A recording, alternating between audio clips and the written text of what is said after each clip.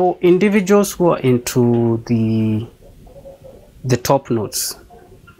If you are into the top notes this will be ideal for you Chalisman Chalisman is around 2000 I don't have the bottle itself since it depleted and I threw it out.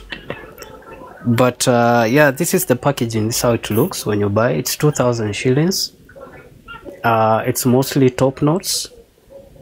Uh, base notes? No haina base notes. It's mostly just the top notes. And also whenever you buy uh, always check the, uh, the description. This one is the toilets. Uh, if you want a fragrance that lasts the whole day go for perfume. Perfume is what you should go for.